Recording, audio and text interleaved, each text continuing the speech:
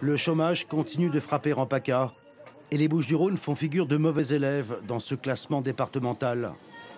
Une augmentation du chômage qui vient contredire l'embellie constatée au point de vue national. Car la liste des chômeurs de longue durée s'allonge. Cyril Slucky dirige une association d'aide pour un retour à l'emploi à Marseille. Il connaît toutes les problématiques du chômage.